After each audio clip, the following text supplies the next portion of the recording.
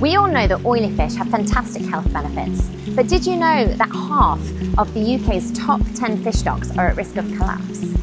None more pertinent than the Northeast Atlantic mackerel, which has recently made headlines because the EU has stipulated a 70% reduction in catch for 2026 on account of significant overfishing, making it now unsustainable to source.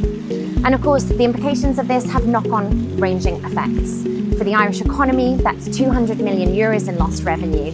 For the counties of Donegal, Dublin, and Cork, that's thousands of job losses impacting local coastal communities. And for businesses, they are now having to look at sourcing elsewhere. So, for example, Sainsbury's, Tesco's, Prince's are now looking at where else they can source mackerel. In Prince's case, they've decided to work with Chilean mackerel.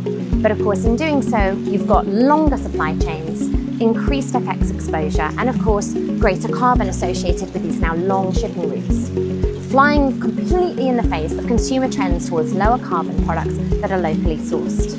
The good news is, there are now an increasing number of nature-based solutions such as oysters, mussels, kelp, seagrass that can create the habitats to allow fish stocks to recover in our coastal waters.